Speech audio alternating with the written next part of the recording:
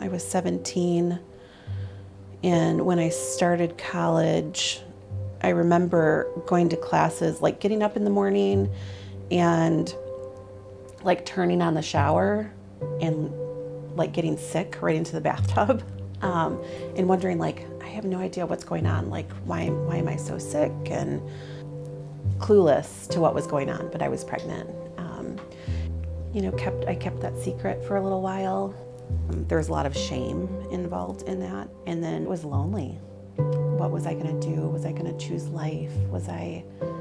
How would I make something of myself? Because um, it, it shifted everything.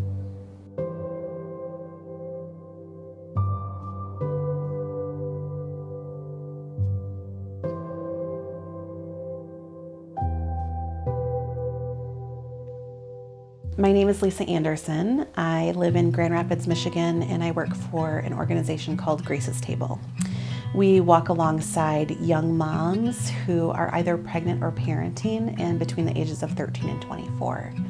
Um, and our goal is really to provide a safe community where moms can come, um, engage with other young women who are experiencing similar um, maybe struggles or new space in life and really, um, I think that the first goal for them is to just be welcomed into community and know that they have a place to belong before they believe that this is a place where they're welcomed.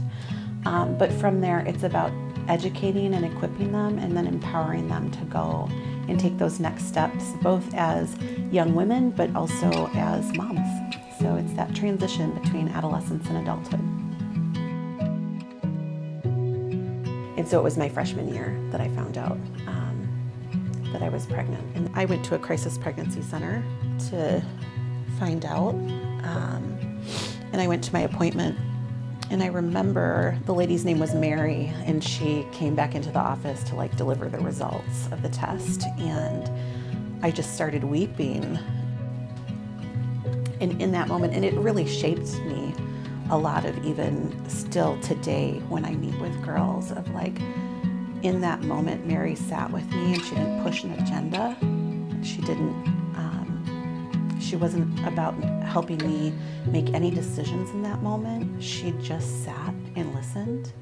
And I think there's so, that's so powerful to sit with someone in the midst of something and not try to fix it. Because that, that was Jesus to me you know, there were no words, and yet it was everything that I needed to hear.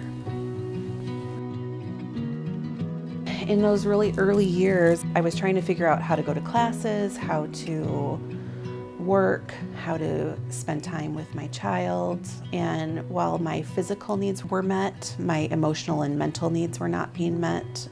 Um, I needed some people to be pouring into me personally. And so that was a time of even further isolation honestly I feel like is the enemy's like playground to isolate you and get you away from people who can speak truth in life into you. Um, and then there was one of my friend's moms, Janet Toko. I would go over to visit with my friend Terry, and she would always say like, "Let me do your nails."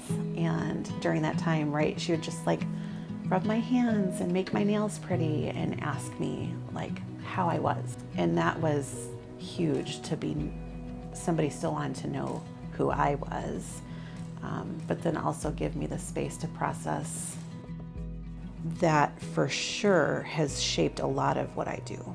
Um, because um, whether it's that there's stigma associated with teen pregnancy or just that there's not the family support or any of those like physical, emotional, mental needs are not being met, we have an opportunity to draw people in and connect them to community where they can feel grounded and feel like a, you know they have a support system so that they can know truth and, and grow from there. And I've always had this, I guess, philosophy of, for me, of just like whatever talents I have or resources I have, like how can I use those for how God has uniquely designed me um, to reach the person right next to me whenever you start a company, you have to come up with a name, right? And for me, I really wanted the name of this organization to be something that was um, had meaning to it, significance, and also ties to my personal story. Ephesians 2 8 and 9 has always stood out to me.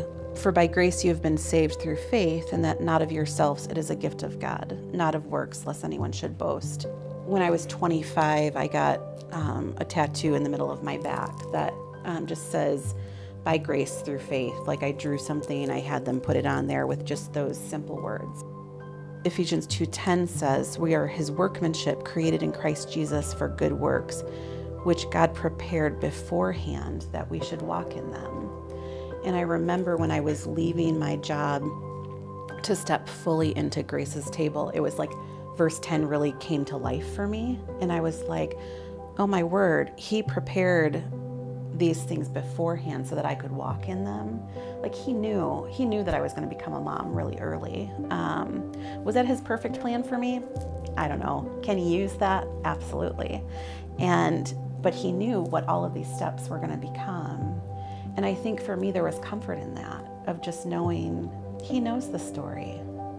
My, my steps are ordered. Man, sometimes it would be nice to know what the next one is, but he's already thought about them. And for me, that gives me some peace.